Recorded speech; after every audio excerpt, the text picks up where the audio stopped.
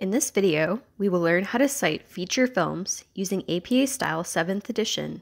These guidelines work for movies in both streaming and DVD format. To cite a feature film, you will need the name or names of the film's director, the release date of the film, the title of the film, the word film in square brackets, and the name or names of the film's production company. This information is usually available in the beginning or end credits of the film. Let's try putting all of this information together to create a reference list entry. We always start off an APA citation the same way, with the author information. APA style states that you must start off with the author's last name, followed by the first initial and the second initial if given. When referencing film, we will use the name of the director in this space. Write the director's last name followed by their initials. George Romero will be written as Romero, comma, G. After his last name and initial, we write out director inside of round brackets.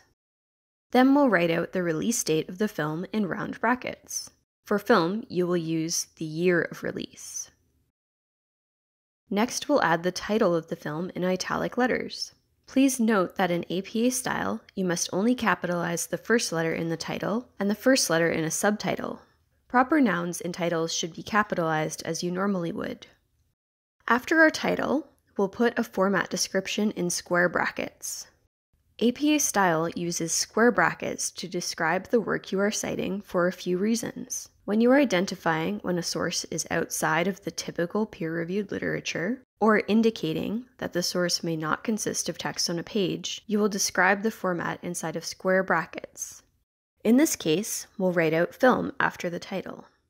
The last step is adding the name of the production company that produced the film. If you are unsure of who the production company is, remember to check the film credits.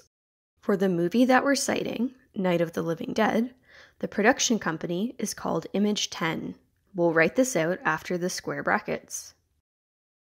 When referring to the film in text, you'll use the following format the director's last name and the year of release inside round brackets.